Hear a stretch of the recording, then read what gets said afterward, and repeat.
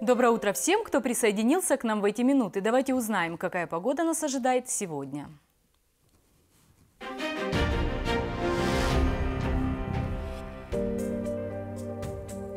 Сегодня в Карачаево-Черкесии переменная облачность, без осадков. Ветер западный 5-10 метров в секунду. Температура воздуха ночью 2 градуса ниже нуля.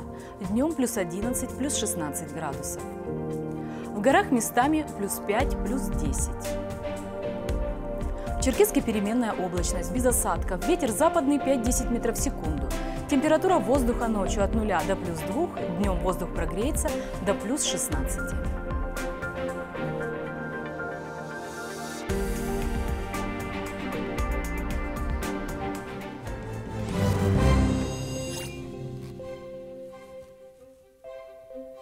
Наша сегодняшняя гостья вошла в пятерку лучших учителей Карачаева-Черкесии. Также она стала победителем муниципального этапа «Учитель года-2020».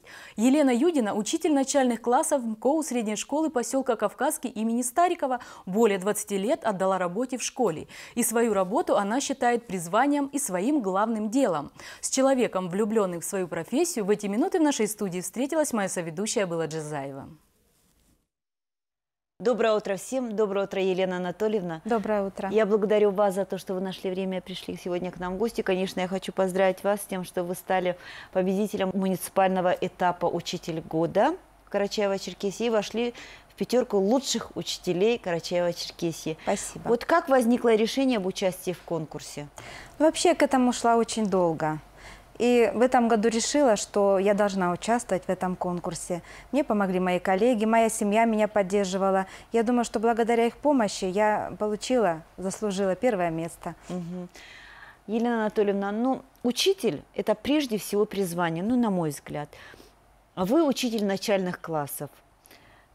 Как вот вы пришли в эту профессию? Это был ваш осознанный выбор? Каким был путь в эту профессию?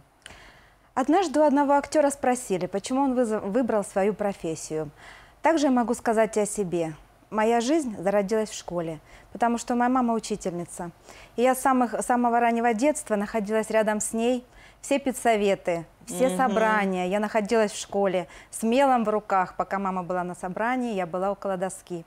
И, скорее всего, это и сыграло роль том, что я выбрала свою профессию, которую я очень-очень люблю. Вы закончили Карачаево-Черкесский государственный университет, правильно? Да, с отличием закончила этот университет. И очень благодарна преподавателям, которые э, вселили в меня ту уверенность, с которой я вошла первый раз на первый свой урок. Угу. Ну, учитель начальных классов – это маленькие детки. Каждому нужен, наверное, особый подход. С ними, я думаю, что очень сложно. Методика преподавания у вас какая? Как вы находите общий язык с ними? Прежде всего, я люблю свою профессию, люблю детей. Как-то мне мой знакомый сказал, что чужих люби, детей любить невозможно, но я в это не верю. Как можно не любить этих маленьких, несмышленных, которые смотрят на тебя открытыми глазами? И ведь именно они дали мне силу, когда я первый раз вошла в класс. Именно их открытые глазки дали мне силы. Э, дали мне терпение. И вот я действительно перед ними была в первый раз как актриса.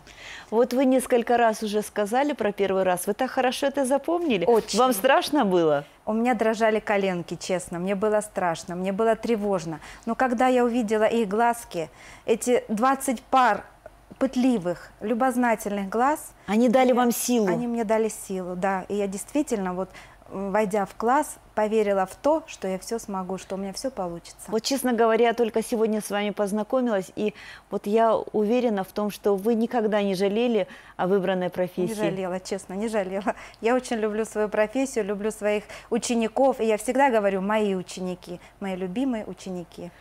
Ну, такому человеку остается пожелать дальнейших успехов, и э, будьте верны своей профессии также, и здоровья вам. С добрым Спасибо. утром. Спасибо. Спасибо нашей гостиной. Наш телевизионный эфир в 9.00 продолжит программы Ногайской редакции. А следующий выпуск «Вестей» с Аллой Динаевой смотрите в 14.30. Хорошего продолжения дня. Встретимся завтра.